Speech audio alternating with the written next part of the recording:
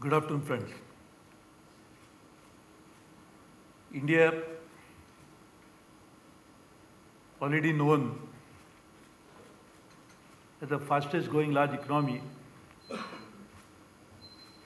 is already on a march of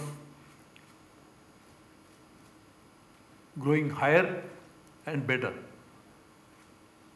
I'm just coming out of a very important mobile congress wherein we just saw the peep into the future, how the new technology will make everything possible with the least of investment and people living in their own houses, how can they operate so effectively in the new economy and in the new technology world.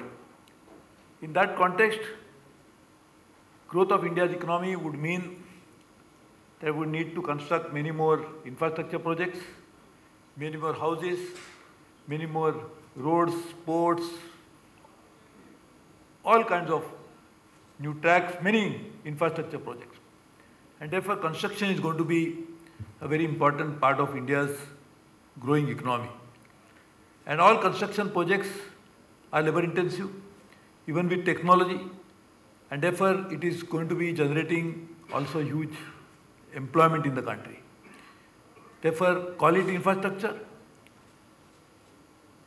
constructing projects with least time, with least cost, and with best quality is going to be the new demand on the construction industry. So in that context, I congratulate Mr. Padode for bringing all of you together and deliberating on many of the issues related to the growth of this industry. I am sure over a period of time, this will result in helping the growth of industry in a very organized manner with proper key inputs coming from the industry itself and I really wish you all the best.